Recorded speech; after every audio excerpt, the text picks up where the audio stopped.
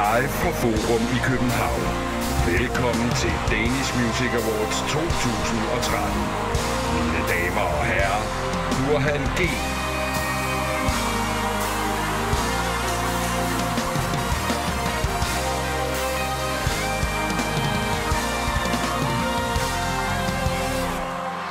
For det starter så uskyldigt Det er den samme gamle leg Butte kys, der bliver til kaptajn Og pludselig ligger du hos mig Jeg tænker, denne gang gør jeg modstand. Og denne gang er jeg i kontrol. Men jeg ved jo godt, jeg blev dybt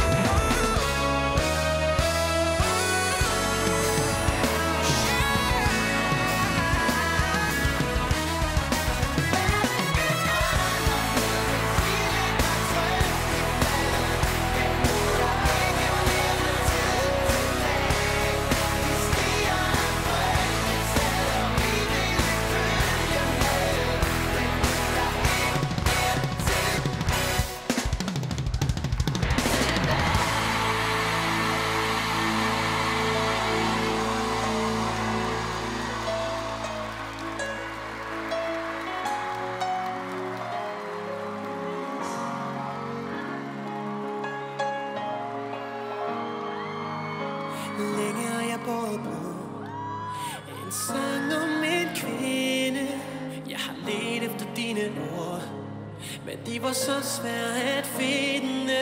Jeg har budt dig lidt af hvert Som om dit job ikke var svært nok. Du var en lille dreng til en mand Imellem to verdener. Jeg husker du holdt op.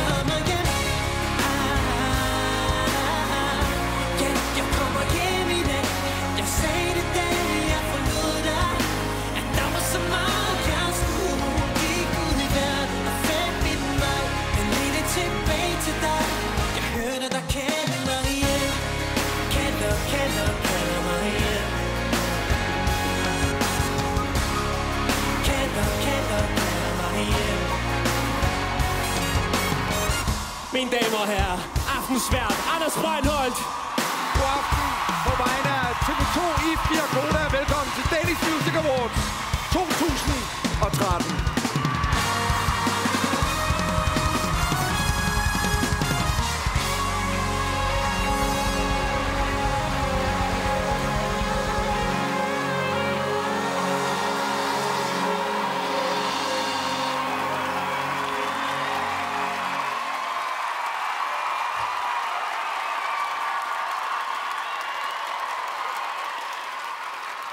Burhan G, mine damer og herrer. Ja, så kom vi i gang, og sidder du derhjemme og tænker over, hvad var det egentlig for nogle sange, Burhan G han spillede her? Så kan vi sige, ud over hans egne to sange, så var det også et lille medley af sange fra Panama, af sange fra Shaka Loveless, fra Marie K. Og ikke mindst også Kvadron. Navne, som alle sammen har været med til at forsøge vores øregange i det musikår, der langsomt er ved at rende ud. Og jeg vil sige, wow, en udsigt, der er for den her scene i aften, mine damer og herrer. Ja, vi sender fra hjertet af Frederiksberg i København, fra Forum, hvor vi er samlet intet mindre end 6.000 mennesker.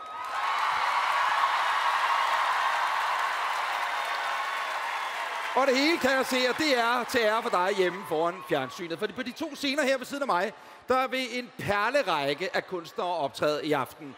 Thomas Helmi, mine damer og herrer. Rasmus Sebak. Kvadron. Christoffer. Sammen med hans nye bedste ven, Mads Langer. Shaka Loveless vil optræde sammen med Top Gun. Og så vil Marie K. også optræde, som i øvrigt som i øvrigt er nomineret i intet mindre end syv kategorier i aften. Og mine damer og herrer, det er den her, det drejer sig om DMA-statuetten. Det er absolut fineste, en dansk musiker kan lægge sine smukke fingre på. Øhm, DMA-vinderne i aften, og ikke mindst også de nominerede, er fundet af det, der hedder DMA-akademiet. DMA-akademiet består af musikere, sangskrivere og ikke mindst af toneangivende branchefolk. Og flot er den jo. Det skal den have. Men jeg vil sige, hvis man er så heldig at stikke afsted med en eller flere af dem her i aften, så skal man simpelthen ikke lide af nikkelallergi, fordi det er der sex med kras. Lad mig bare være ærlig. Der vil jeg sige, der bliver brug for en vagtlæge i løbet af natten. Vi skal overrække 11 af dem, det kan jeg lige så godt sige. Og øh, skulle vi ikke til at komme i gang? Er I klar? Jamen, øh, til at overrække den første pris kommer to mænd, som ved deres blotte tilstedeværelse gør verden et bedre sted at være. Tag godt imod Vafante og Raske Penge.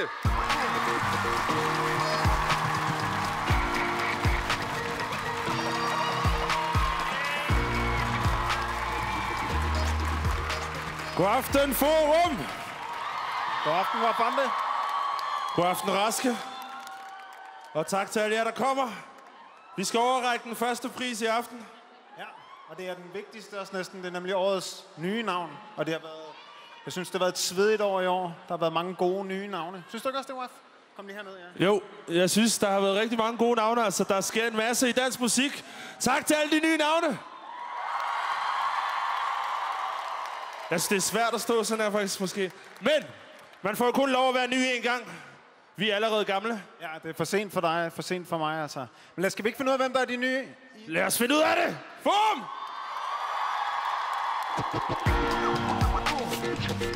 De nominerede som årets nye navn er Barbara Moleko,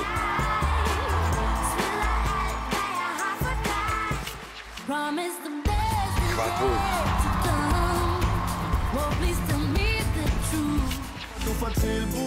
Top best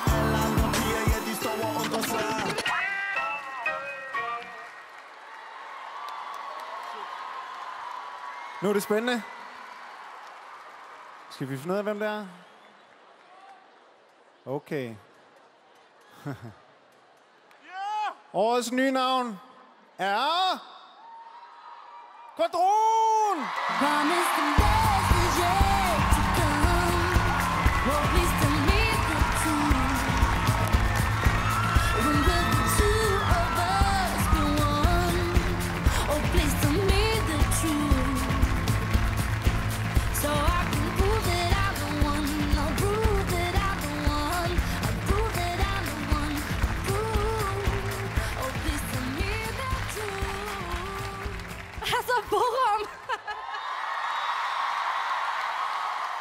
ja, nu er det sagt, så det var så.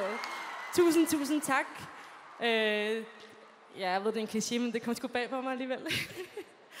tusind, tusind tak, fordi I alle sammen har taget så sindssygt godt imod os. Øh, sandheden er jo, at vi måske lidt er nogle ældre katte på banen, men øh, jeg vil sige, at øh, det har varmet os så utrolig meget, hvordan I har modtaget vores nye plade. Tusind tak.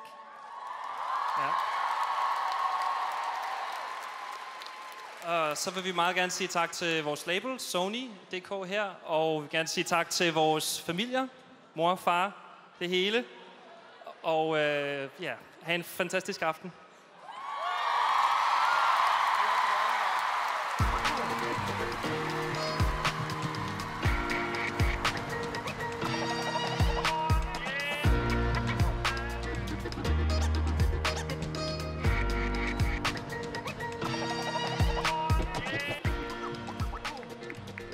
Mine damer og herrer, tillykke til øh, Quadron. Jeg har bevæget mig ned i det, der hedder nominerings VIP-området. Det er hernede. Ja, de nominerede er dem, der skal optræde i aften. Og så andre nobiliteter inden for øh, musikbranchen. Og jeg kigger rundt, der er batter med her. Øh, øh, nej, ja, Marie Case Band og står, ja. Og al, alle er simpelthen magtens korridor og nikker til, alle er samlet. Og så er det Coco og Robin fra Quadron. Tillykke for fan. Tusind tak. Tillykke, Coco. øh, og velkommen hjem, kan man jo godt sige. Ja. Ja, fordi I er jo, øh, I er jo bosiddende i, over there i Amerika, ikke? Jo. Til daglig, ja. Yes.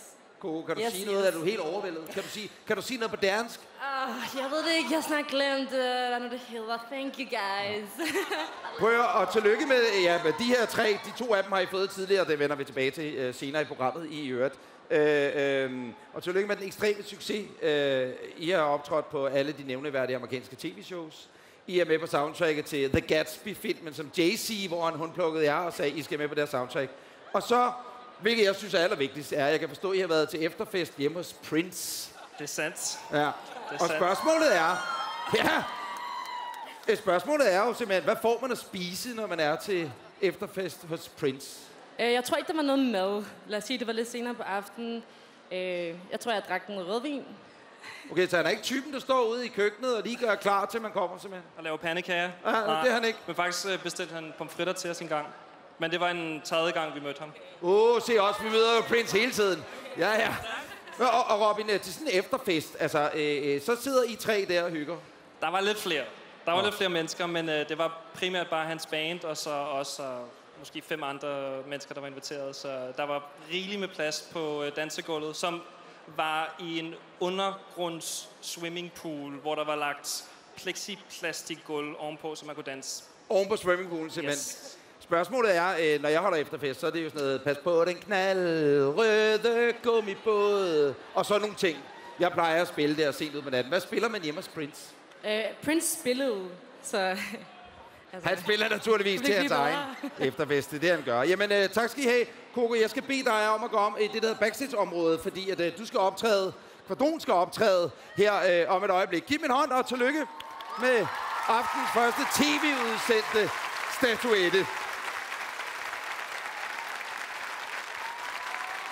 Sidste år blev der langet intet mindre end 7 millioner koncertbilletter over disken, disken til over tusindvis af danske koncerter på de danske spillesteder. Og det er jo det sted, hvor musikken lever aller, allerbedst. Det er i mørket i en koncertsal, og man forestiller sig, man lukker øjnene.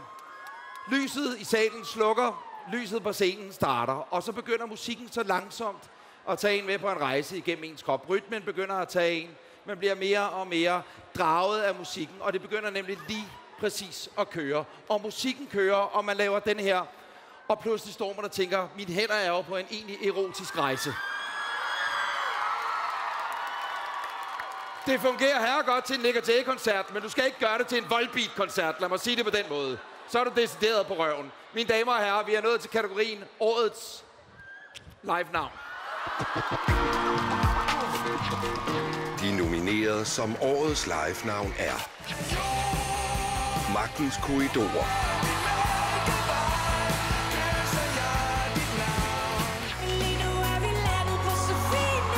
key.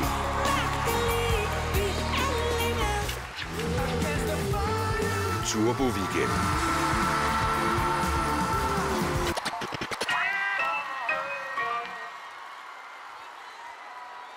Og vinderen i kategorien Årets Live-navn er, mine damer og herrer, Marie K.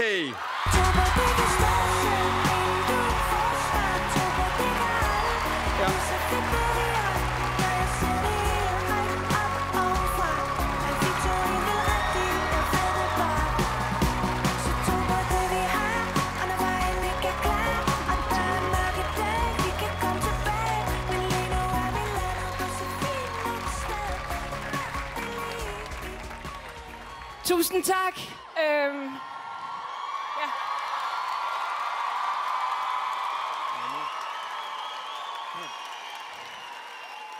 Det ser skide godt ud heroppe fra. Øhm, vi er meget glade for den her pris, øh, og på bandets vegne og min egen vegne vil jeg gerne sige tak for den bedste sommer og det bedste forår. Det har været sådan nogle søde folk, der kom til koncerterne, og vi har haft det helt vildt sjovt. Tusind tak.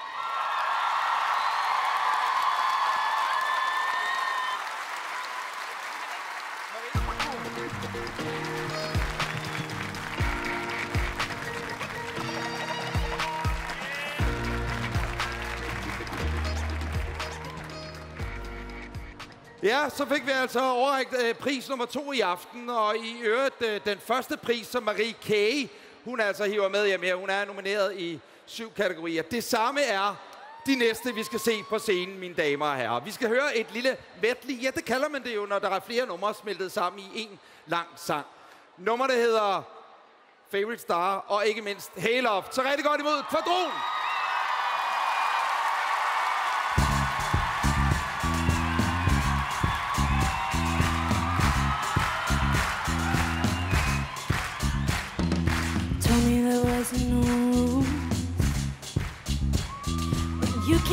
Out of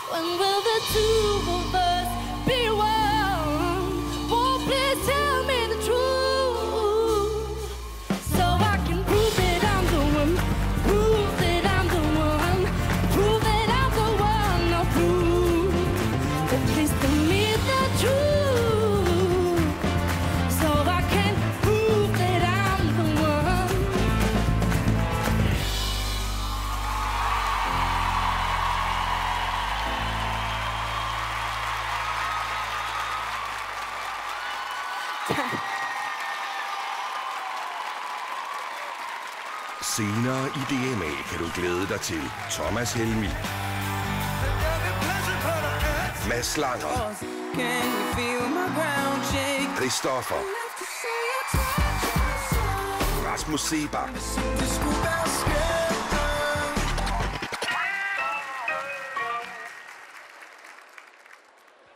Yes, det er en spændende aften i aften, og til Danish Music Awards i år er der i alt 36 kategorier. De er kategorier inden for klassisk, jazz og rytmisk musik. Vi har valgt at uddele 11 af dem på fjernsyn, og otte andre er øh, blevet overrækt tidligere i dag. Og her på bunden af skærmen, der kan du se, hvem vinderne er i kategorierne årets rock, pop og urban udgivelser. Og ikke mindst også årets producer, som jeg synes alle sammen fortjener en stor hånd.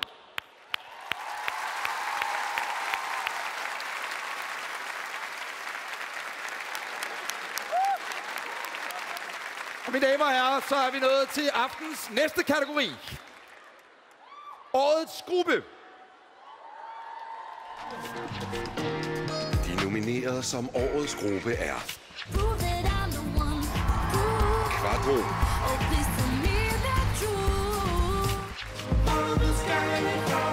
When Saints Go Machine,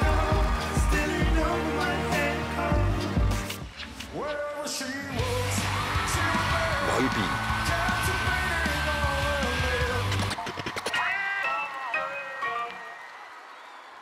Og vinderen i kategorien Årets gruppe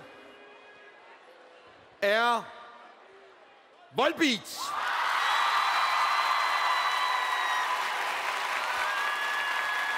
Volbeat, ja, tillykke til Volbeat. Volbeat øh, kunne desværre ikke være i aften, men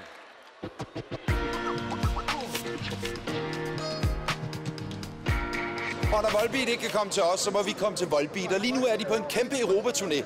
Og i aften spiller de i London på det legendariske Brixton Academy. Og der vil jeg gå ind nu og overrække den, den her statuette.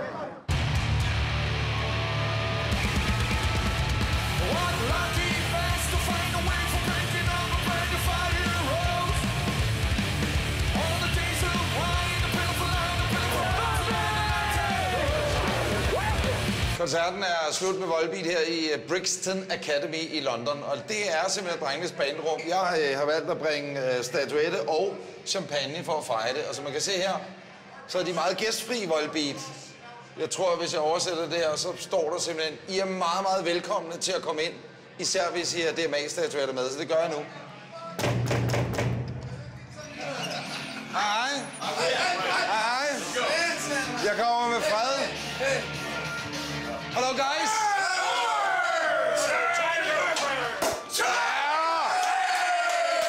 De er, udover champagne, vil jeg meget gerne overrække den her. Det er øh, simpelthen beviset på, at I er vinderne af kategorien bedste gruppe til Danish Music Awards 2013. Først og fremmest i hvert fald tak til dem, der køber vores plader, og tak til dem, der kommer til vores shows. Det er jer, der holder os i live. Vi er rigtig stolte over den, og til vores fans derude, til, til vores fans derude, vi ses meget snart derhjemme, og vi kan så vi, vi glæder os helt vildt. Og you say, Rob? Tak.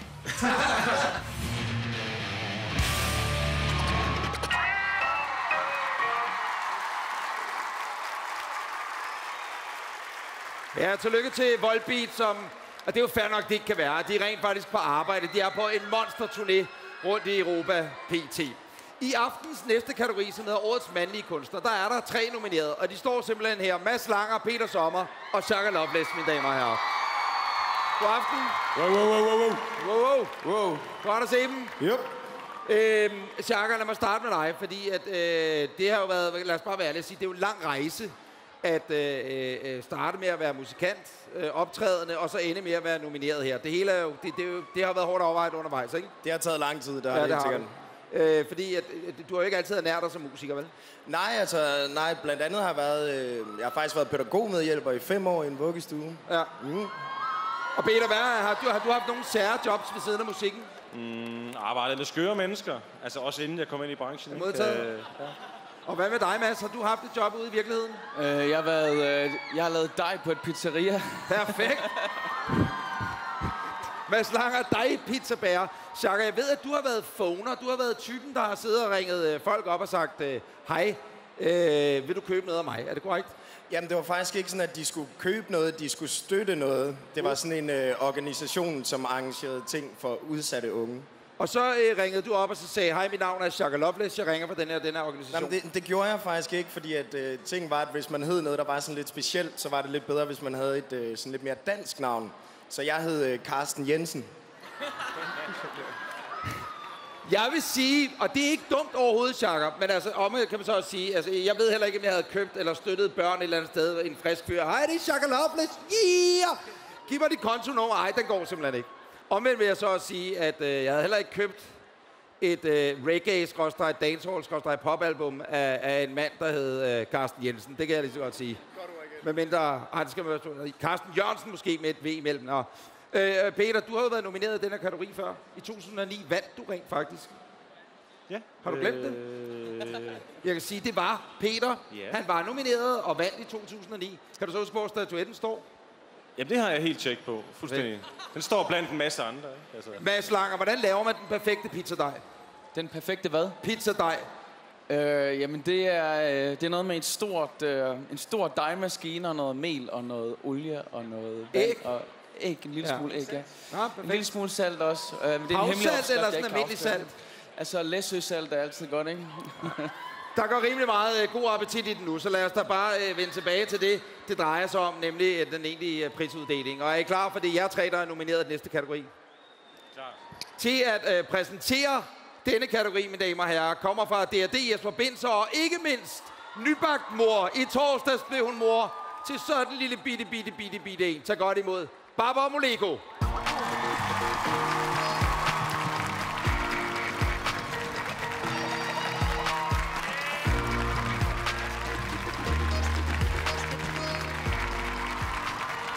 For fanden i helvede, forum!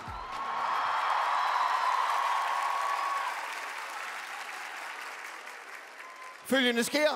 Der har i meget lang tid, der er flere år, der er gået, hvor Danmark har været begavet med en masse kvindelige talenter. Mine damer og herrer, Barbara Molego! Mange tak. Men nu er det drengenes tur. Og vi har æren af at få lov til at præsentere tre af, af, hvad jeg vil kalde de mest sexede, lækre og, og dygtige mandlige artister. Og de kommer her. De nominerede som årets mandlige kunstner er Mads Langer,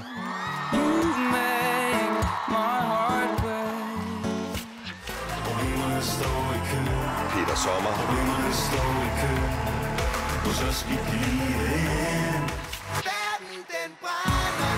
Chaka Loveless,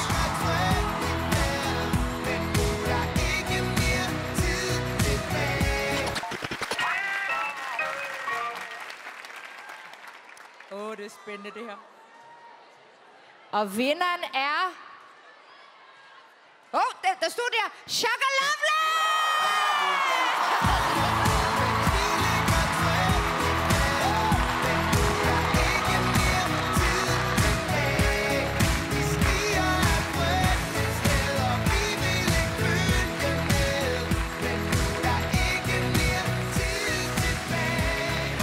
Jamen, øh, er du sindssyg, mand? Altså, tusind tak. Jeg må sige, øh, altså med det her felt, jeg ser meget det her som, øh, som masses år faktisk. Og hvis jeg kunne give den her pris til nogen, så havde det nok været Peter. Så jeg er meget, meget, øh, meget, meget benovet faktisk over at stå her. Jeg vil rigtig gerne sige tak til Donkey Sound. Og jeg vil gerne sige tak til Universal, Møller, Karl Kvist og hele kontoret så vil jeg gerne sige tak til Beatbox, Kemp, Lasse og jer alle sammen. Stort tak til min familie. Tillykke med fødselsdagen, Sofus. Og så er det allerstørste tak til jer derude. Tusind tak for at støtte os, og big up!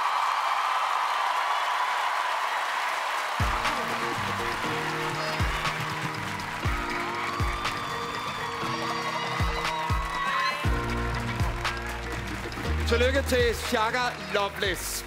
Se, sidste år, der modtog den næste, der står på scenen. Helt fortjent Ibis ærespris. Han er en af de absolut største inden for dansk musik. Og nu vil han simpelthen fremføre en perlerække af sine gode gamle klassiske hits og et helt nyt nummer. Tag godt imod Thomas Helmig.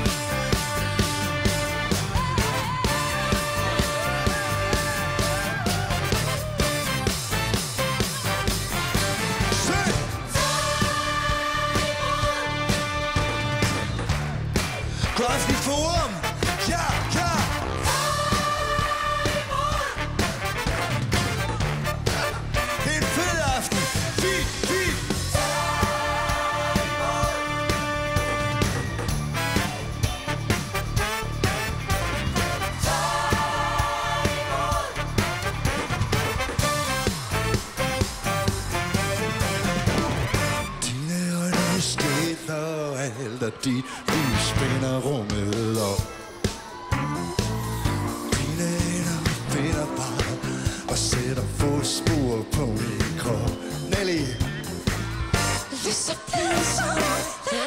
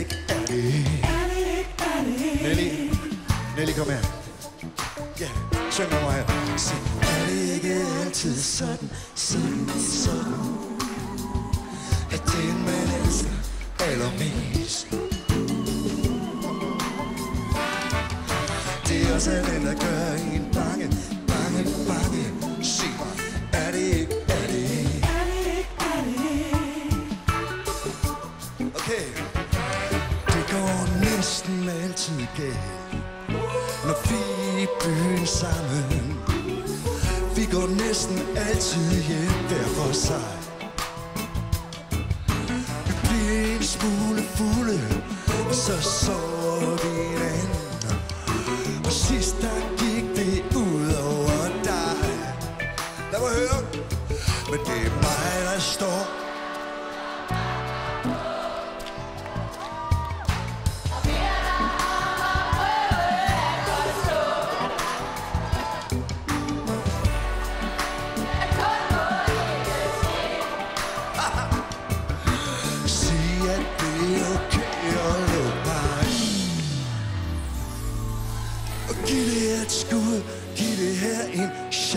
chance til Giv det et skud Hvis du kan det. Så lover jeg.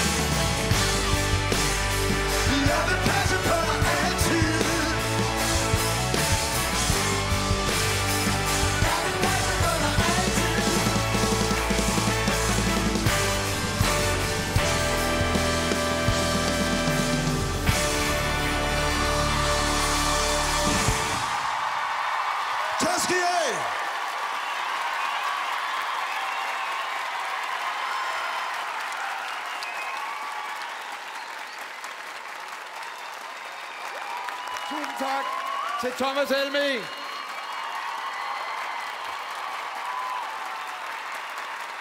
Ja, sådan sætter man simpelthen den i skabet. De næste to mennesker, der skal ind og præsentere en pris, det er måske to af de smukkeste og dygtigste mennesker i dansk musik. Det tør jeg simpelthen godt at sige. Den ene kender du som Stine Bramsen fra Alphabet, og den anden kender du som hele Danmarks Søren Rasted.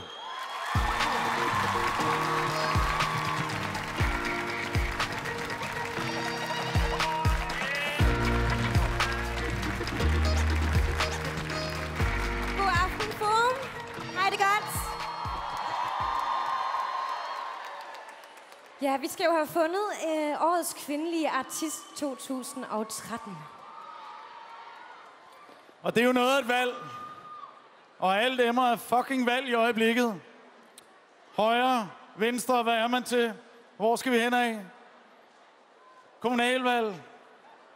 Regionsvalg. Ja, og øh, det er et svært valg i år. Altså det her valg. For vi har tre fantastiske kandidater tilbage i kampen om at blive årets kvindelige artist. Skal vi ikke lige se de nominerede? De nominerede som årets kvindelige kunstner er. Coco O.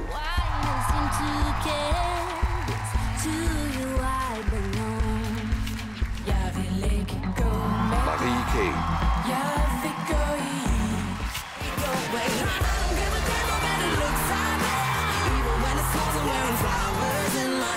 girl.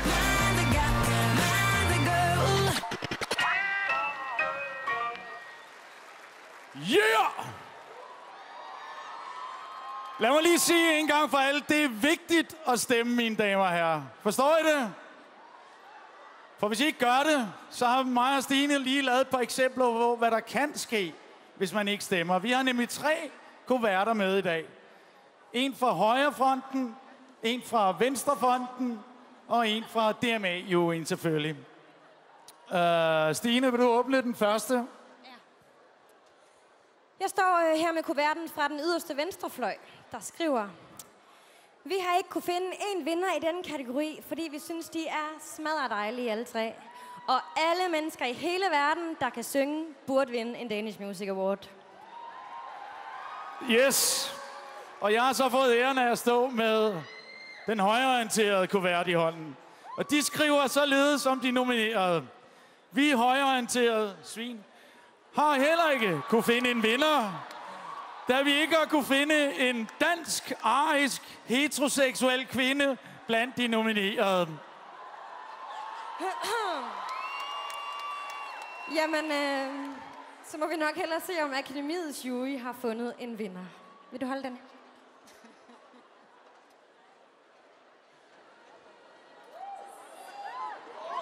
Hvor er det fantastisk. Marie K. Giv hende en kæmpe hånd.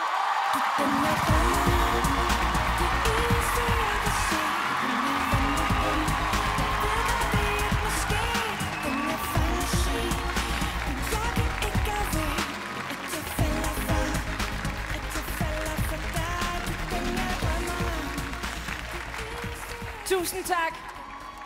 Tusind tak. Altså, jeg har jo lavet øh, fire plader og har været i gang længe og sådan noget. Øh, så, så bliver man rigtig glad for at arbejde sammen med nogen, som holder ved, også når det ikke sådan går super godt.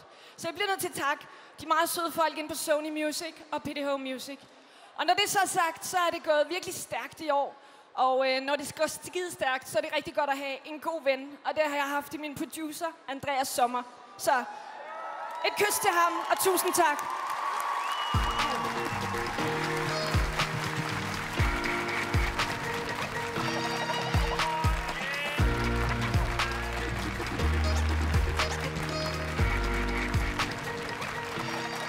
Ja, hun hiver op ned ad hylden, den gode øh, Marie Kage. Og øh, en storslået aften som den her i aften, den kræver en hel del forberedelser. Hele ugen har teknikere sat scene op, musikerne har øvet til at kunne spille helt perfekt på scenen i aften. Og ellers sidder de oppe i deres øh, backstage-rum og venter på at øh, komme i gang og ned på scenen og optræde. Og min opgave i løbet af dagen, det er simpelthen at sørge for, for eksempel, at Rasmus Sebak, han har håndklæder nok, eller at Burhan G, øh, han har de peanuts, han skal bruge. Så der kan man sige ad hoc opgaver. Og når jeg går min runde op i backstage-lokalet, så falder jeg over det, man vil kalde nogle ja, mærkværdige overraskelser.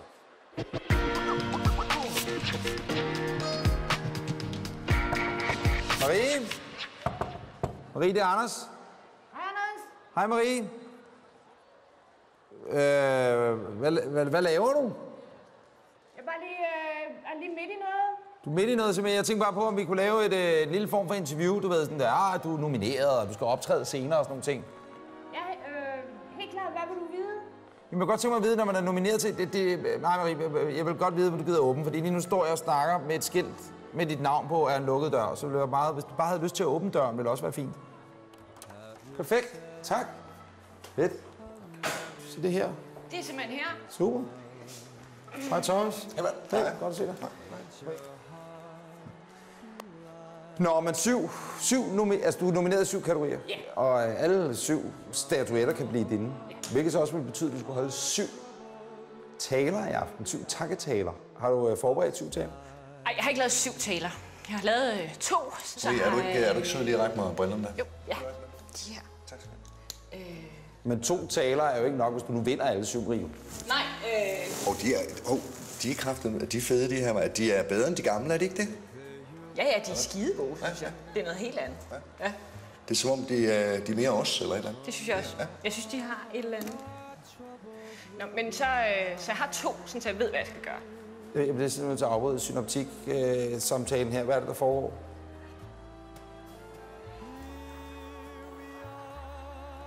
Jamen, øh, jeg har haft rigtig øh, travlt hen over sommeren, og så har jeg ikke kunnet nå alle mine jobs, og så øh, har Thomas taget nogle af dem, og så har jeg taget nogle for ham. Så du siger, at Thomas optræder som dig og omvendt, men det, det gør det jo ikke med, et- med et par Marie K. Jam briller og et, en par ryg. Så skal komme, Thomas, du ligner, jeg, det er ked af at sige, men du ligner jo ikke Marie K.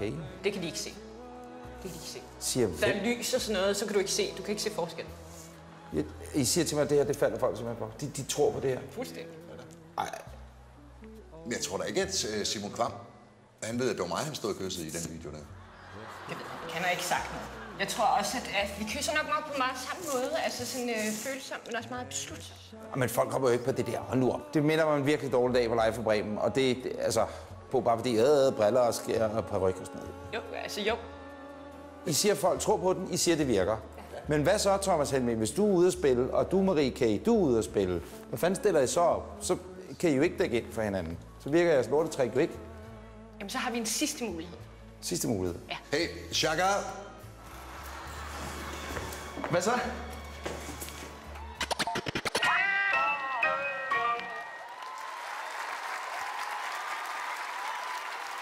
Ja, således beriget med den her information, så glæder jeg mig personligt meget til Marie K's optræden her til DMA lidt senere. Se, hvert år, der øh, premieres den gode idé til Danish Music Awards. Det er simpelthen prisen, der bliver kaldt Årets Nytænker. Det er en innovationspris, og jeg læser nu op. Prisen, Årets Nytænker, gives til den kunstner eller det band, som på en særlig kreativ og nytænkende måde har formået at anvende de sociale medier til at skabe tætte relationer til deres fans og sprede budskabet om deres musik. De nominerede som årets nytænker Spotify-prisen er Marie K. for at anvende oplysninger fra streamingtjenester til at finde ud af, i hvilke byer man lyttede mest til hendes musik, og tilføje disse byer til turnéen. At jeg falder for, at jeg falder for dig. Turn this music. Nick og Jay for at lade deres fans lytte til musikken trådløst via deres mobil fra albumets officielle udgivelse via plakater rundt om i byen. Put the rest of the world aside. All I ever wanted. Tim Christensen for at dele akustiske versioner af sine personlige yndlingssange på sin Facebook-side og lade fans stemme på de seks bedste sange, som vil blive udgivet på et album.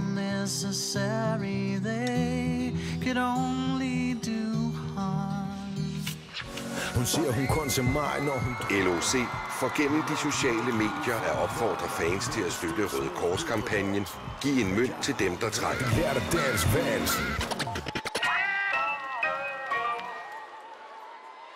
Og vinderen i årets nytænker er... Nå, så skal der mandekysses igen. Nick og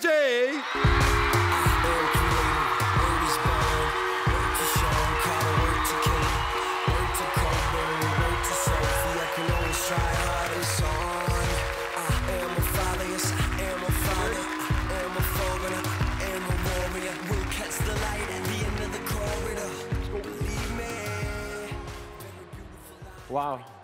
Ja. Årets nytænker, det er en, øh, den sej, sej markat, som vi rigtig gerne vil, vil have på os.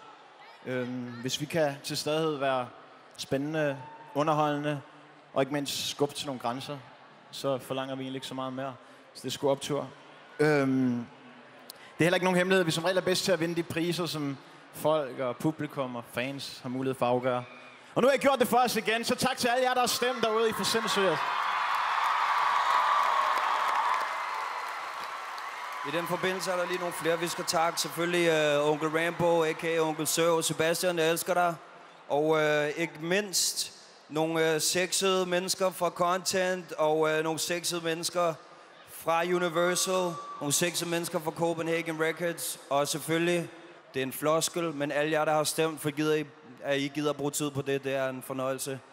Vi er for jer altid, Nick og Jay, baby. Peace up!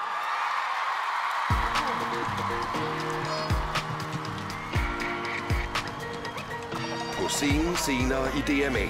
Rasmus Sebak. Marie K. Top Gun. Shaka Loveless.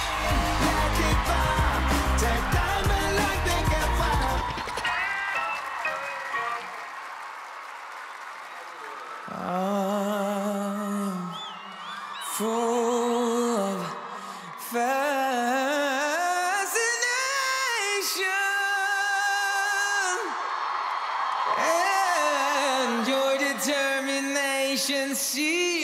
change the situation.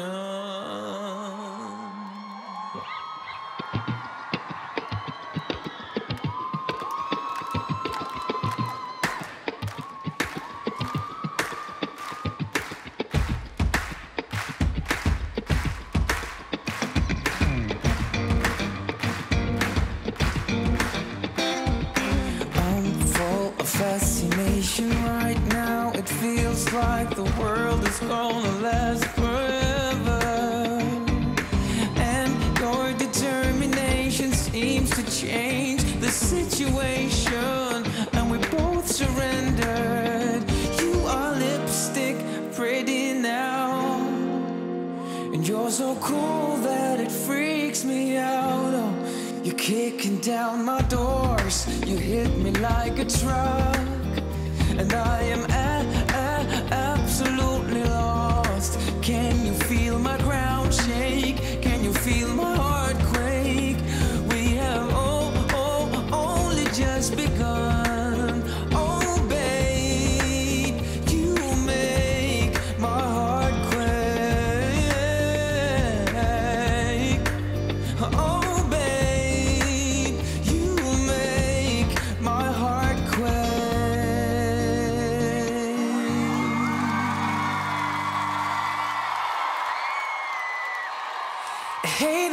isolated.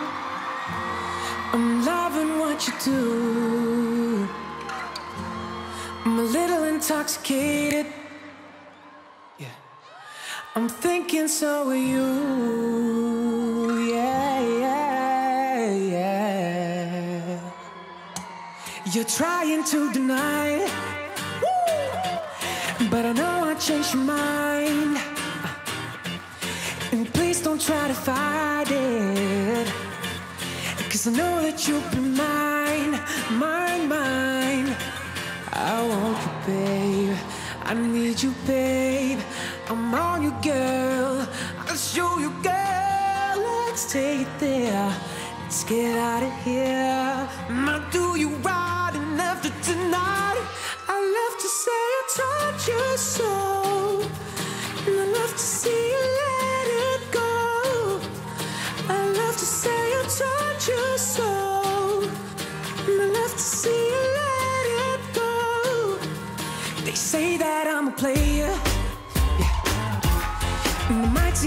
true, don't wanna be playing no more. Oh, whatever it is that you do, you did it, you did it right, did it now. I couldn't care less about the world outside. I want you, babe. I need you, babe. I'm on the girl.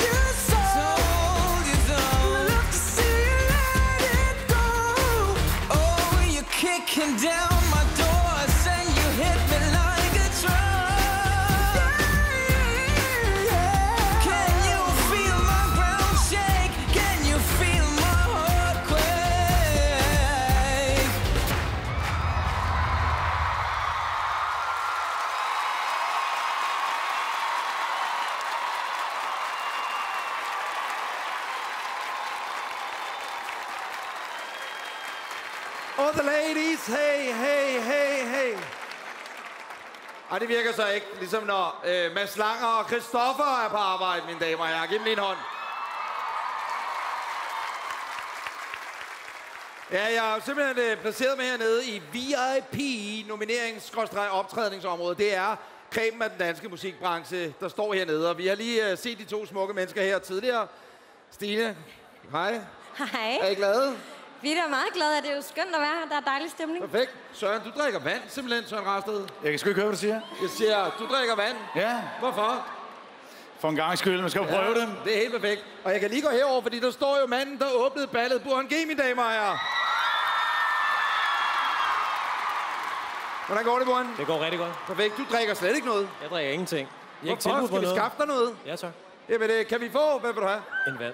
En vand? Ja, bare vand.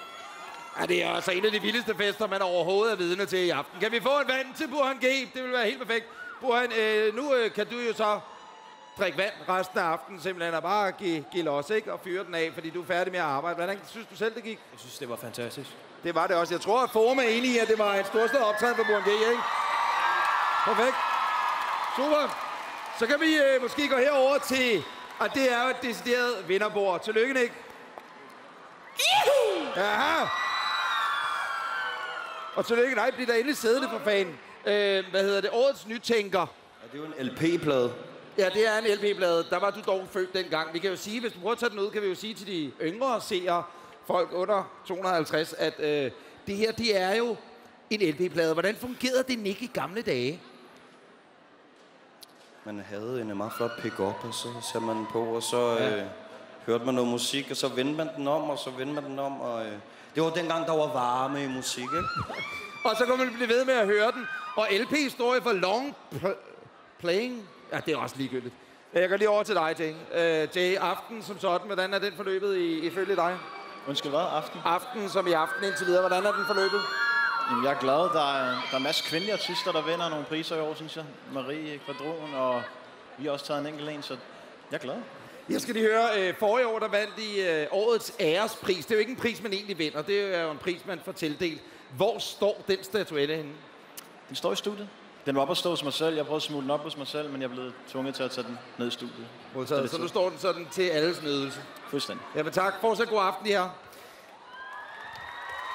Fordi nu skal vi til det. Vi skal have overrækt årets ærespris. For den gives hvert år af organisationen IFPI. Og som sagt er det ikke en pris, man vinder. Det er en pris, man får tildelt, og det gør man på grund af sit store engagement i musikken. Tidligere vindere kan nævnes ja, Nick og Jay, C.V. Jørgensen, Love Shop, Anne Linnet og ikke mindst også Røde Mor. Sidste år, der vandt Thomas Helme, og han kommer nu ind på scenen for at overrække årets ærespris 2013.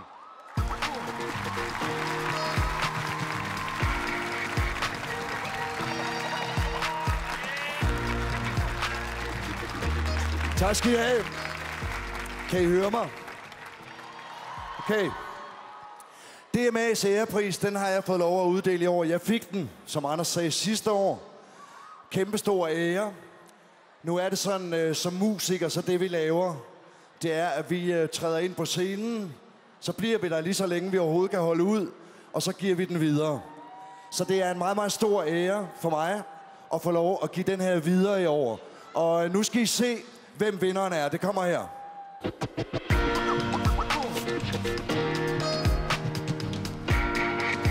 Hvad må man er, før man bliver til? Et stjerneskud, et puslespil. En tanketorsk. En gulerod. Man må for fan have været noget. Tillykke,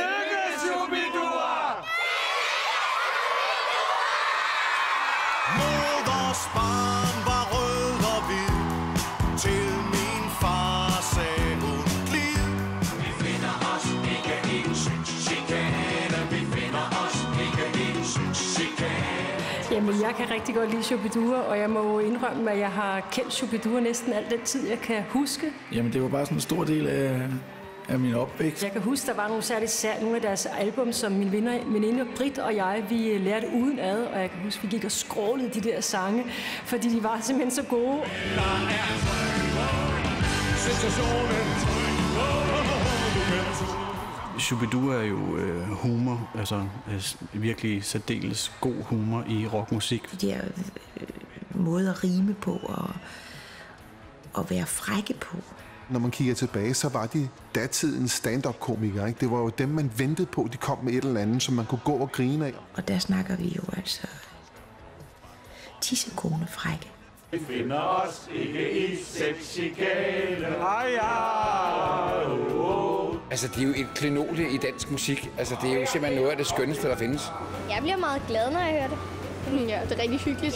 Det er sådan noget, man alle kan scrolle med på. Det er folkelig musik. Rytmerne, musikken, melodien. Stå på en alpetop.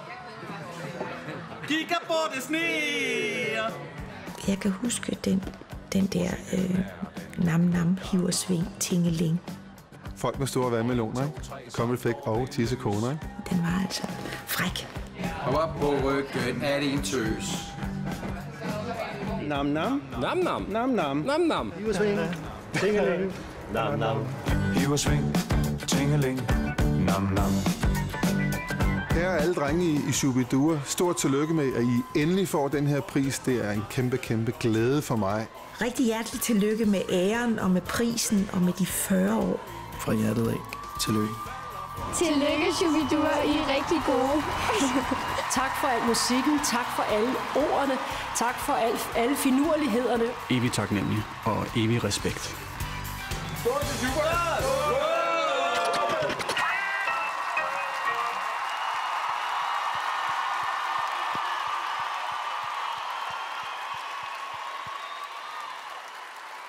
Hvad hedder det? Øh... Mine damer og herrer, rock and roll, det må jo gerne være grave alvorligt. Og gå i sort tøj og hænge ud med kunstverdenen. Men rock and roll, det må og skal også være skide sjovt. Og gang i den, og det lærte jeg blandt andet af de her herrer. De har været, de bærer en stor del af ansvaret for, at jeg overhovedet begyndte at spille musik. Det er en meget stor ære for mig at give den videre til Shubidua. Nu skal I lige høre, hvad, øh, nu skal I lige høre, hvad branchen siger. Det var mine ord. Branchen siger, branchen siger, musik kan skabe fællesskaber, som få fænomener i livet kan. Noget musik har så stærk en appel, at den ligefrem bliver en del af nationens DNA. Årets modtager af æresprisen er et band med en imponerende karriere i bagagen, men de er langt mere end det. De er en del af vores kollektive hukommelse og identitet som danskere. Når musik har den kraft, så kan man kun bøje sig i støvet og sige tak. Derfor går årets DMA ærespris til Shubi Dua.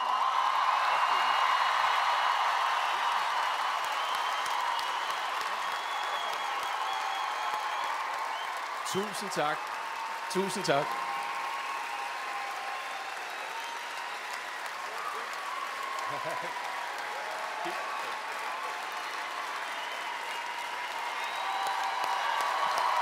Kim Daggaard. Tusind tak, Thomas. Tak for de flotte ord.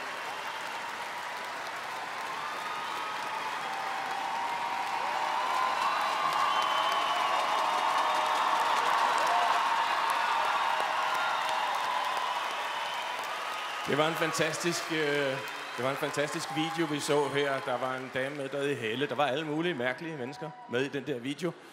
Øh, og øh, man følte sig jo pludselig som om, altså 40 år. Øh, er der nogen her, der kan huske 70'erne overhovedet? øh, jamen altså, der har været mange med i Shubidua, og, øh, øh, og vi har inviteret så mange vi kunne. Er der nogen her i salen, som ikke var med i Shubidua på et tidspunkt? Vi er, så vi skal jo sådan set, vi står kun tre heroppe, men der har virkelig været mange med til at lave den der dims. Og jeg var med i øh, 25 år, det kvart århundrede øh, i orkestret. Øh, men Bundesen har været med i 40 år.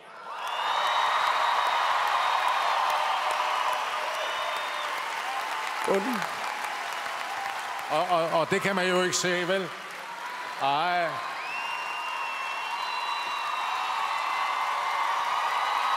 Tak skal I have. Jeg havde jo planlagt en meget lang takketale.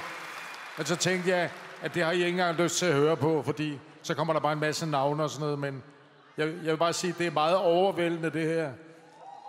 og fantastisk at få lov til at stå foran jer. Det er faktisk tre år eller fire år siden, jeg sad på eller stået på en scene.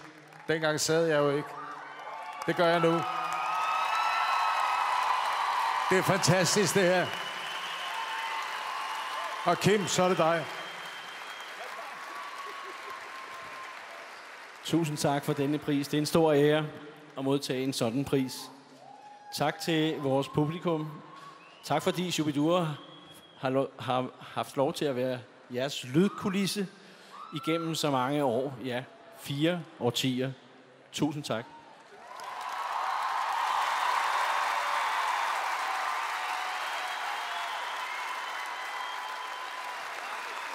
til modtagerne af æresprisen 2013, som altså er Shubidua, mine damer og herrer. Tusind, tusind mange gange tillykke. Se, tidligere på aftenen, der så vi jo en duet mellem øh, Mads Langer, ikke mellem, med Mads Langer og ikke mindst øh, Christoffer. Og det var en, ja, ja, pigerne er tosset med det, en decideret øh, smuk oplevelse, Christoffer, intet mindre. Øh, og jeg kan så afsløre nu, at den duet blev til ved det der tilfælde. Ja, det fandt jeg ud af, da jeg spacerede rundt i backstage-området lidt tidligere i dag.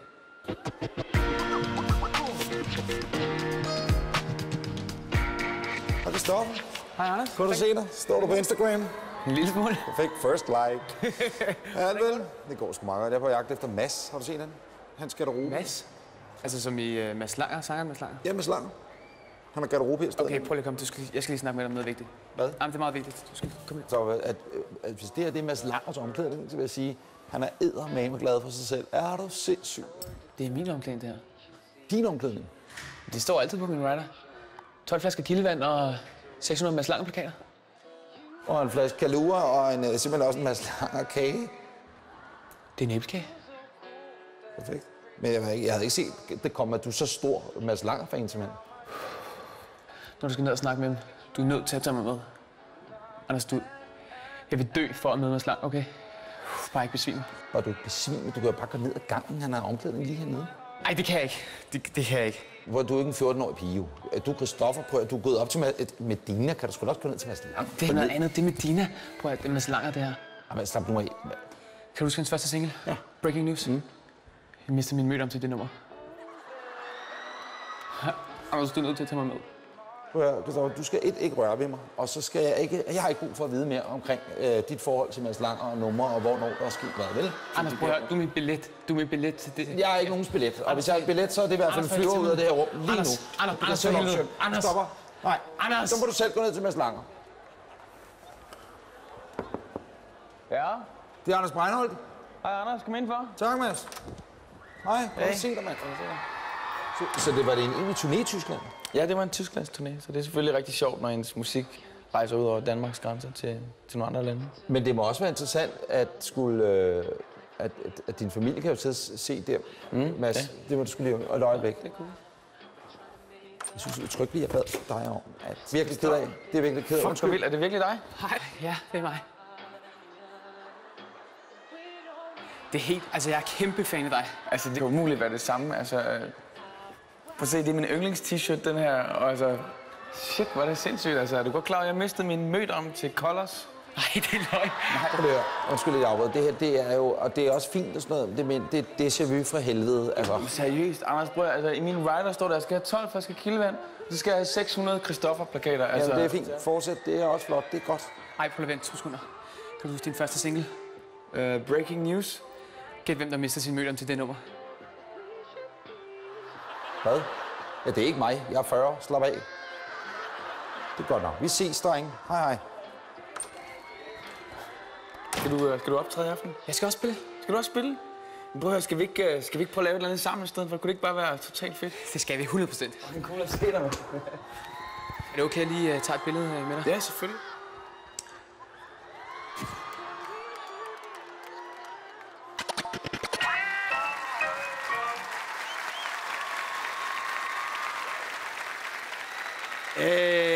Vil bare godt lige have noteret til referatet, at min mødom, den røg til danseorkestrets regndans. Altså, det var ikke... Ja, ja.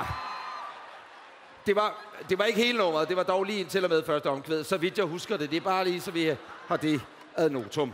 Nu skal vi til en af de helt store, tunge drenge i branchen. Hans tredje album er netop udkommet. Ingen kan love dig i morgen, hedder det. Øh, Det lyder måske ikke som typen, man har lyst til at komme med hjem, men ikke desto mindre er jeg ikke i tvivl om, at alle kvinderne herinde godt vil hjem med den næste på scenen. Han hedder Rasmus Sebak.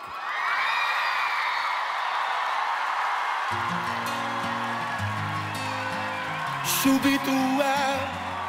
Oh. Woo. Olivia siger ja til din fest, til kærlighed siger hun nej. Olivia, hun lukker ikke nogen ind i sit hjerte, heller ikke dig. Du kan næsten se det på hende, verden kan ikke nå hende. De siger, hun jagter drømme.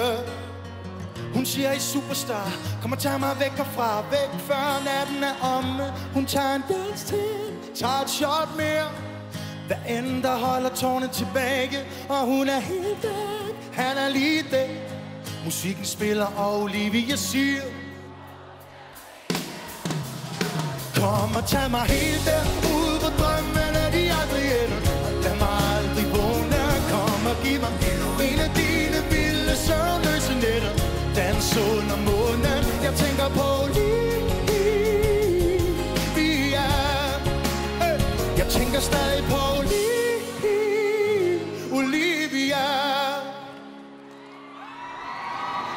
det nok ikke endnu, men vi to bliver gift en dag. Det har jeg i hvert fald lovet mig selv. Du siger, du er glad for ham, men sig ikke, det er det samme som du og jeg. Kærligheden, den finder vej i en sandstorm. Du har aldrig troet på mere mellem himmel og jord. Okay, så gå,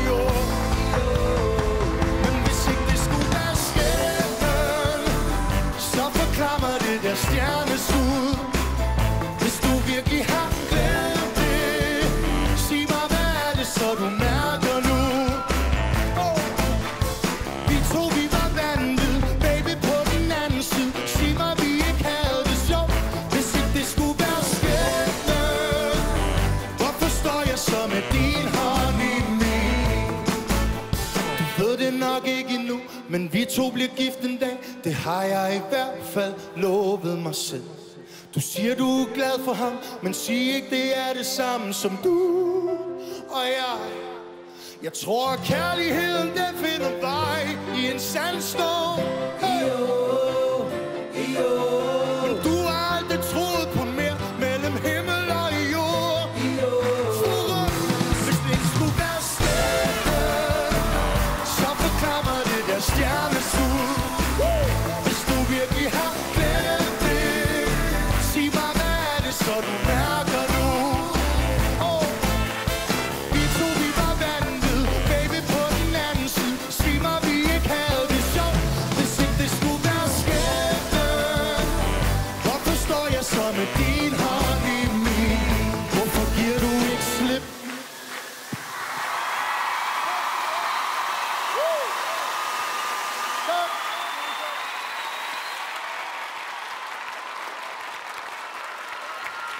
Rasmus Sebak, mine damer og herrer.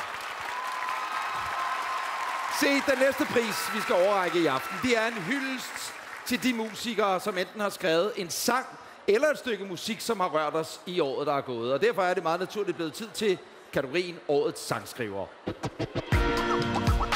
De nomineret som årets sangskriver Koda-prisen er Christian Hjelm, Før vi blev lette.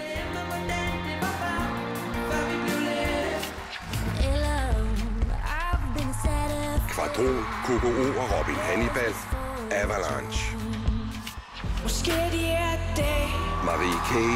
De her dage. nogen vi husker. Noget klarer vi selv. Peter Sommer. Alt for let. Og noget klarer vi ikke. Hvis vi bare kunne tage tiden og trække den ud. Hvis vi bare kunne skyde ud. Shaka Loveless. Shaka Loveless.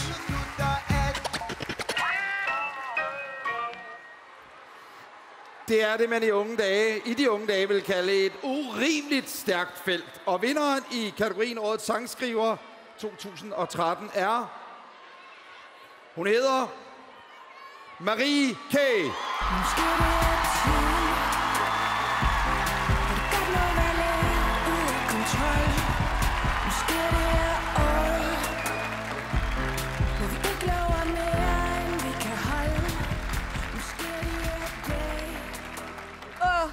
tusind tak.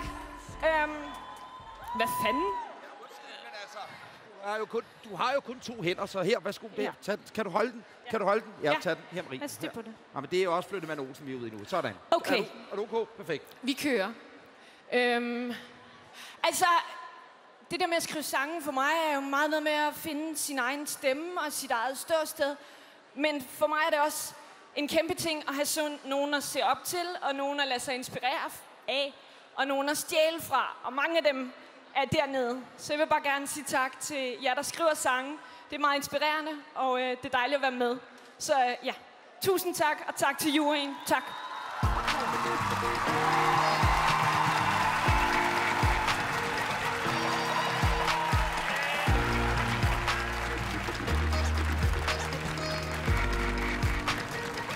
Senere kan du glæde dig til Marie K. Top Gun. Shaka Loveless.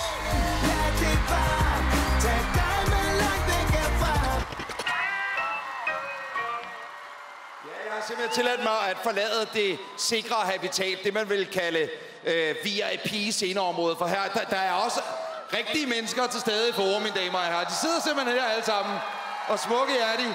Der er øh, farfars øh, falske bror. Hej, hvad hedder du?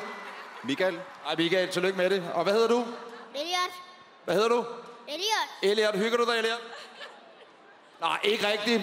Helt perfekt. Det er super. Det bliver en top aften. Hej, hvad hedder I? Victoria. Er I kærester? Ja. Ej, hvor er det dejligt. Lige give de smukke elskende en hånd, var. Nej. Hvor lang tid har I kendt hinanden? Øh. Ja, det skal komme lidt hurtigt ud af det. Det vil være ret fedt. Hvis du lige kunne skyde den sådan noget. Ja, vi har kendt hinanden i 13. Ah, det har jeg så heller ikke. God aften. Hej. Er det ok? Super. Men hvad fanden er det af? Hvad? Nej, jeg har da aldrig set mage med Grete Vestager og Frank Jensen, mine damer og herrer. Der sidder de sgu da. Hvad fanden? Må jeg lige komme her? Hej. Godt at se jer for satan. Hej Margrethe. Hej, Anders. Må jeg sige, du ligner decideret en million i aften? I lige Er det ikke rigtigt? Ligner hun ikke en million? Wow. Må jeg sige, uh, Margrethe, du er, må, jeg, må jeg bruge ordet smuk? Nej, helst ikke. Okay, må jeg så sige uh, lækker? Hvis jeg må gengælde komplimenter.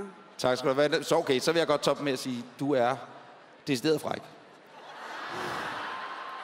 Ja, jeg kan godt afsløre, at der er kugeralarm heroppe på række 34. Der, lad os da bare være ærlige. Men Frank, du er jo så også. Du, og du ser også godt ud, Frank. Det der, oh, oh. Du ser da godt ud, Frank. Hvad, hvad, hvad bærer du i aften? Det er sådan noget, man spørger om til award shows. Jeg har tøj på. Det kan jeg godt se, og det klæder dig urimelig godt. Har det været en god aften, Frank Jensen? Det er en fantastisk aften. Jeg synes, niveauet er enormt højt i år. Altså, Quadron bliver årets navn. Coco er jo bare så sej. Super, det bliver en god efterfest, skal jeg høre. Det gør det. Øh, øh, Frank, øh, har det, været, det har været det største, det har simpelthen været det bedste, det har været øh, Quadrons optræden. Nej, altså, Marie K., altså, der er en grund til, at hun er nomineret til syv. Jeg var over at høre hende på Samsø første gang i 2005, og hun er bare helt vildt god. Super. Margrethe, hvad havde været dit store øjeblik i aften? Altså, når du kommer. Senere... Ah, hold op. Øh, ja, tak skal du have. Ja, ja, lige præcis. Øh, øh, Der er det ved det. Så er jeg uden forsvar. øh, hvad, så er du uden forsvar? Ja, men det, er, det bliver ikke meget smukkere. Så du er det, man kalder en Marie K-pige. Som du kan sige det. Ja. Og hvad med dig, Frank? Er du sådan en Christoffer-pige? Ej, jeg er Marie K-dreng. Og modtaget, du er Marie K-dreng. Ja, den her samtale tager en drejning. Øh, vi må hellere komme videre. Øh, jeg håber, I får en øh, fortsat god aften. Tusind tak, fordi at jeg lige måtte komme herned, simpelthen. Og øh, nu skal vi videre til aftens næste pris, og kan jeg det er en seerpris, som du har kunnet være med til at afgøre. Ja, derfor er det lige præcis en seerpris. Og til at overrække den her pris, mine damer og herrer, skal I nu tage godt imod Shaka Loveless og Dansk Dancehalls fader, farfar.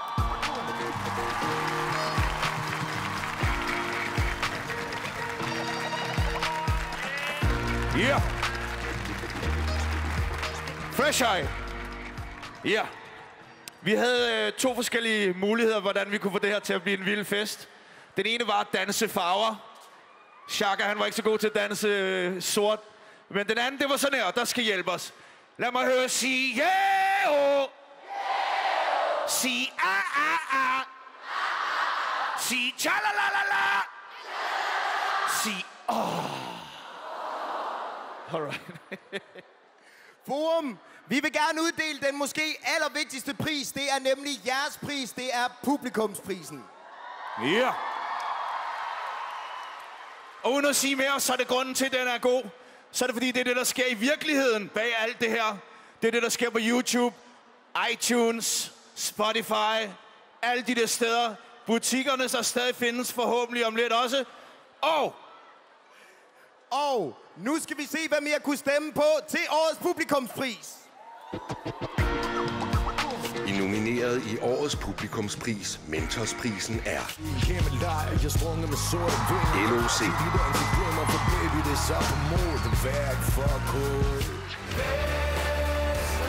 Nephew,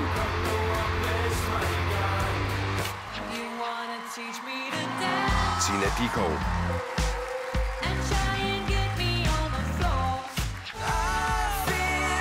Mads Langer,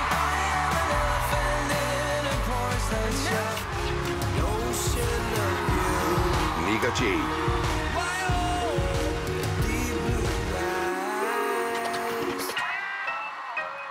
Og vinderen af årets publikumspris er...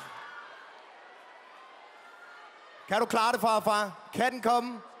med rystende hænder må jeg sige, vinderen er... Mm, Langer.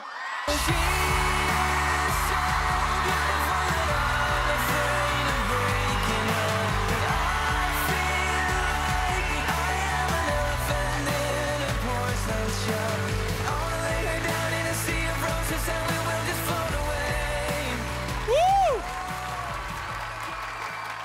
Tusind, tusind, tusind tak.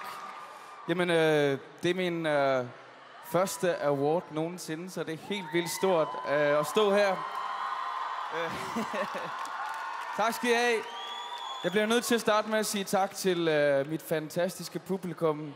I har været med i mange år, og øh, ja, det er meget, meget dejligt. Der er selvfølgelig også en masse mennesker, der har hjulpet øh, uden for scenerne. Derfor skal jeg sige tak til Sony Music, Henrik Daldorf, Karina Foss Fenn, Eik Frederiksen og Patrick Beiberg. Jeg skal sige tak til PDH Music, Henrik Seifert, Malte Erbs. Og så skal jeg sige tak til min familie, mine venner, som øh, står bag mig, mit band, Ingebet, og øh, til mine kollegaer. Det er fremragende at møde jer ude på scenerne og, øh, og være en del af den danske musikbranche. Tusind tak skal jeg have. Ha' en fortsat god aften.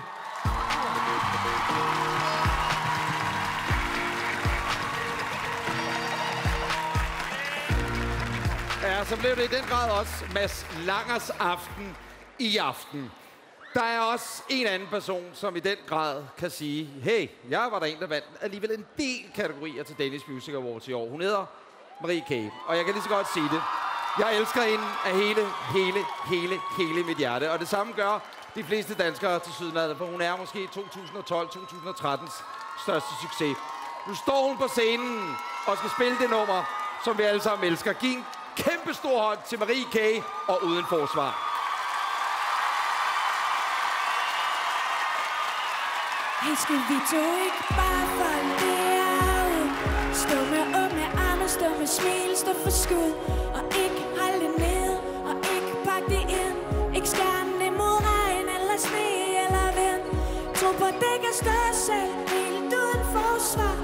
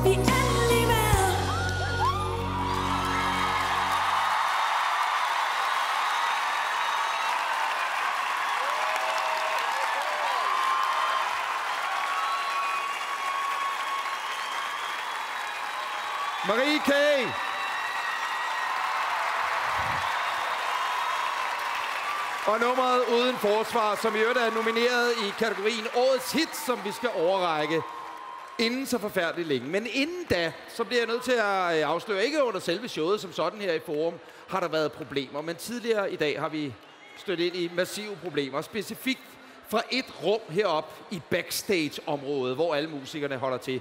Et rum havde sat sig for at holde en fest. Jeg må tage den brune viseværtkittel på og Roku-nøglesættet og så sige, det skal jeg simpelthen have stoppet. MM, der skal være plads til alle, men fest. Skru lige lidt. Ja, jeg prøvede at stoppe det.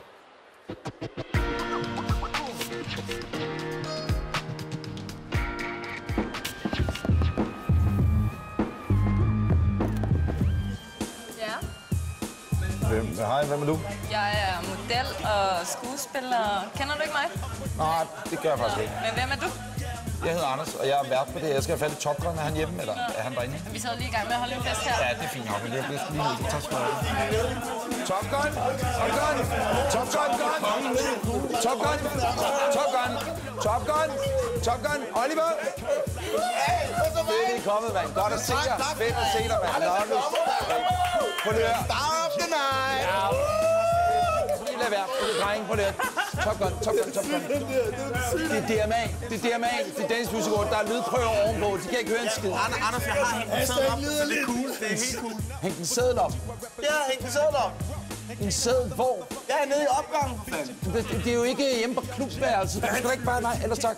Du kan sgu ikke bare hænge en sædel op. Det min mor har sagt. Din mor er sikkert ganske fint. Ja, ja, hvad, øh, hvad siger du om hans mor? Jeg siger absolut ingenting om hans mor. Hvornår?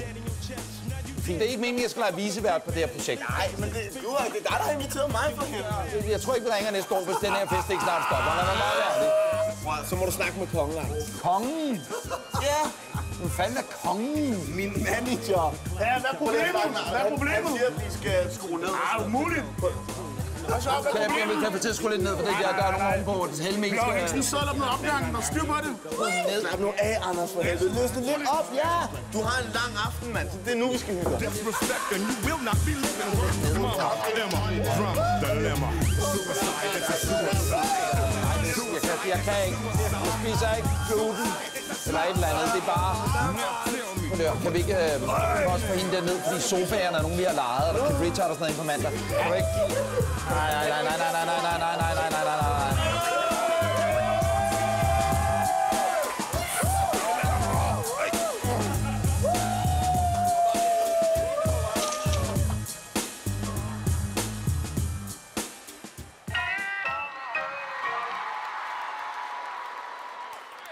Jeg kan forstå, det hedder twerking, og jeg glæder mig således til at se Top Gun, når han skal optræde sammen med Shaka Loveless lidt senere.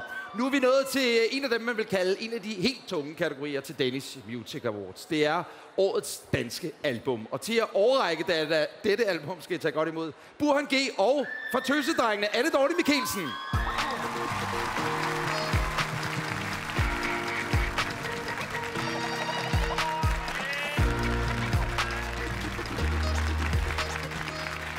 God aften, Forum. Har I hygget jer? Nu til aftens største pris, synes jeg. Du siger? Ja, det er årets album 2013. Hvor er det dejligt at stå her ved siden af dig, Burhan. En flot fyr.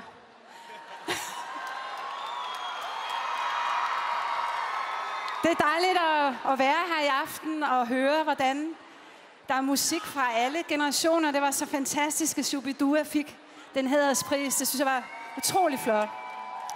Men nu skal vi jo til årets største album, og det er jo helt fantastisk. Hvad siger du? De nominerede er... De nominerede til årets album er Quadron, Avalanche,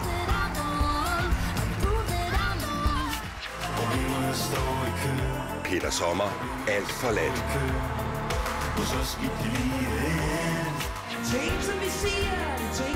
gerne vil Christian Hjelm, Før vi blev lette, Shaka Loveless, Shaka Loveless, Marie K. De her dage.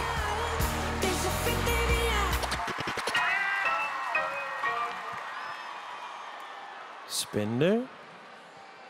Og vinderen af årets album 2013 er...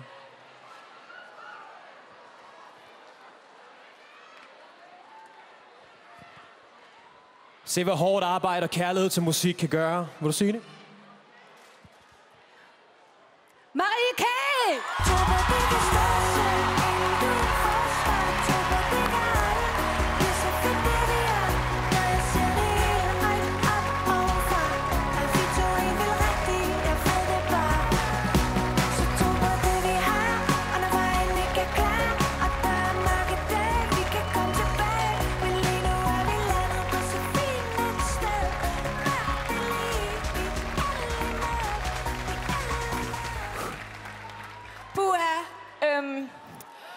Har jeg taget Andreas med, produceren. Yes. Og øh, jeg vil gerne på vores begges vegne sige tusind tak. Det her er en kæmpe pris for os at få. Vi er meget taknemmelige. Og det her år øh, kommer vi aldrig til at glemme. Øh, men så kan vi snakke med hinanden om det. Og øh, jeg vil bare sige igen, tusind tak. Og så sådan en aften oveni. Det er helt vildt. Tak.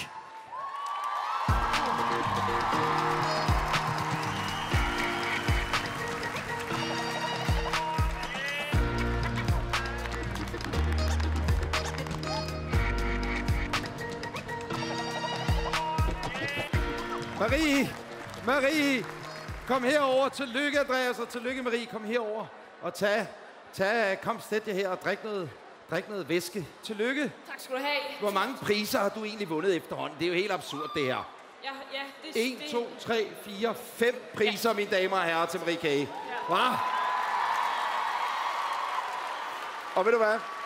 De er øh, fortjent, alle og en af dem er simpelthen fortjent. Tusind tak.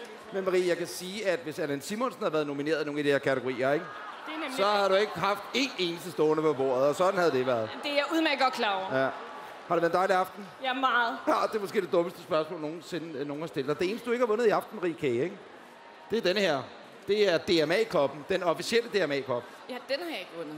Kunne du tænke dig at vinde den?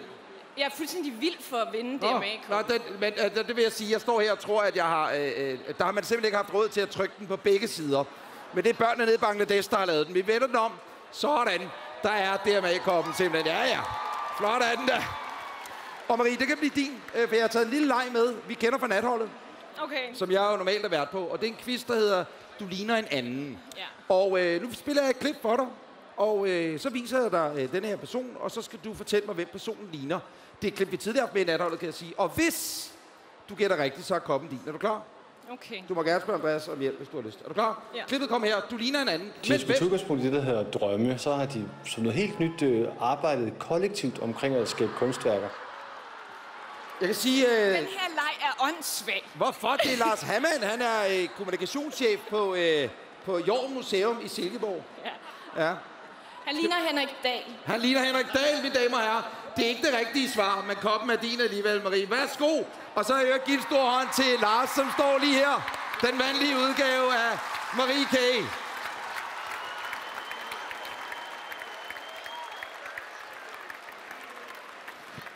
Se, øh, nu er vi nået til en næste kategori, som du også er nomineret i, Marie. Selvfølgelig er du det.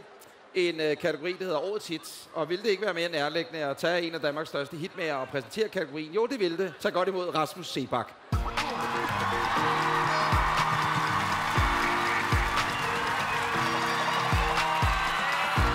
Og så der, hygger jer. Hej det godt. Fandme dejligt at høre. Sådan skal det være. Den fedeste følelse for mig, det er, når man sidder i sit studie og roder med en lille melodi, og lige pludselig kommer den ud blandt jer, og så synger I med på den. Og den følelse, den er jeg sikker på, at de følgende navne, de kender rigtig godt til. Prøv at se med her. De nominerede til årets hit er Panama, Børn af Nat.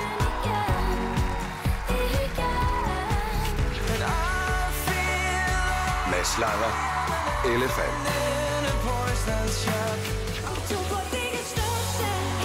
Marie K. Uden forsvar. Lucas Graham, Better Than Yourself.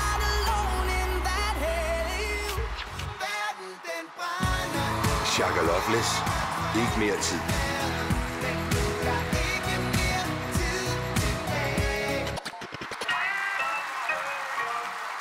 Det er, for at være helt ærlig, fandme nogle fede sange alle sammen, så det er godt, at det ikke er mig, der skal tage den beslutning. Jeg kigger i kuverten, i pladen.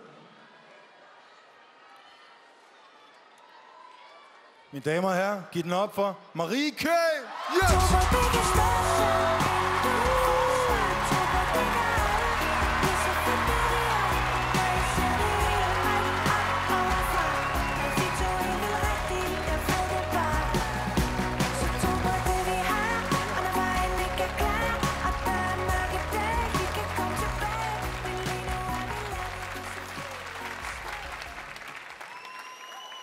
Så nu er vi så kommet dertil, hvor jeg ikke har mere at sige. Øhm, jeg vil bare sige igen, tusind tak. Det har været dejligt at være her. Jeg håber, I får en skidegod fest ud i natten. Og øh, ja, tak for nu. Tak. Hej.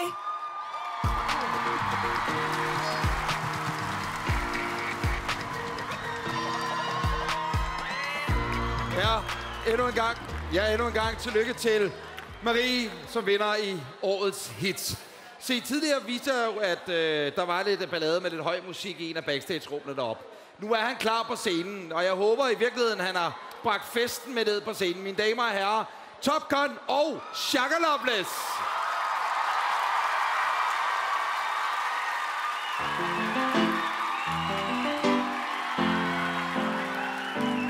Jeg siger, hun fræk, du for lækker Så hvis jeg spørger dig, vil du med mig? For den røv, den er perfekt, og den sidder som den skal. Du kan få, hvad du vil, og du skal have, hvad du skal have. Hey, så tag det af, jo tag det af, hey. Jo tag det af, jo tag det af For hun tror på sig selv, hun går ikke rundt og tigger. Den her pige er selvsikker For hun går hjem alene, når timerne bliver sene. Hvad så for Hun er ikke typen, der bare spreder benene. så jeg sagde til hende Lad os gøre det her. Hvad så derude? Chef i huset lige nu. Lad os gøre det her, turn up. Ej. Du får tilbud for den røv, som du har. Alle andre piger, ja, de står og undrer sig For du får tilbud for den røv, som du har. Alle andre piger, ja, de står og undrer sig For du får tilbud for den røv, som du har. Alle andre piger, ja, de står under sig For du får tilbud for den røv, som du har. Alle andre piger, ja, de står under sig af Hun er en 12 ud af 10'er Findes ikke på skalaen, de andre er en 9'er Hun giver ikke en fuck for, hvad alle de andre siger. Hun visker i mit øre, mens de andre piger skriger. Det kunne blive os to for en røv, den er fejn, og jeg har penge Vi kunne køre for mig til Strandvejen Hun tror på sig selv, går ikke rundt og tigger Den her pige er selvsikker For hun går hjem alene, når timerne bliver sene Øj, bro og hun er ikke typen, der bare spreder benene, benene. Lad os gøre det her. Så jeg sagde til hende, forum. Jeg sagde, at du får tilbud for den røv, som du har. Alle andre piger, ja, de står og undrer sig, for du får tilbud for den røv, som du har. Alle andre piger, ja, de står og undrer sig, for du får tilbud for den røv, som du har. Alle andre piger, ja, de står og undrer sig, for du får tilbud for den røv, som du har. Alle andre piger, ja, de står og undrer sig. Du har en kæmpe røv.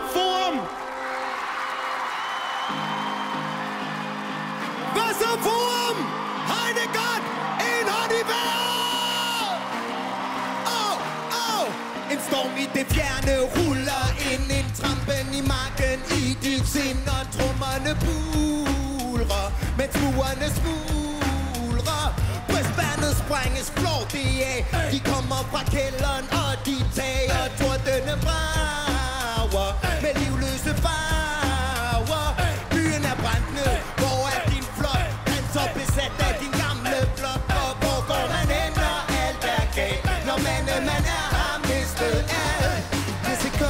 nu svinder hen Den profit, som du fik, kommer ikke igen. Der er en tid til at lægge sig ned. Men du vender det rundt til en ny sag.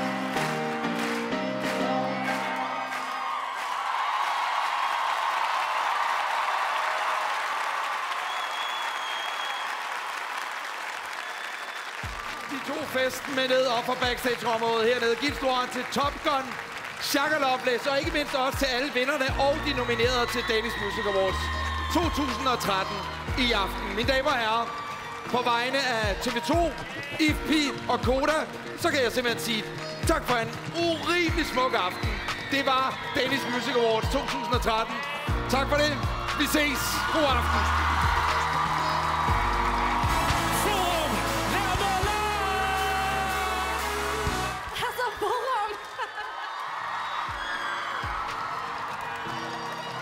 For fanden i helvede, Forum! Jeg, jeg vil bare sige, det er meget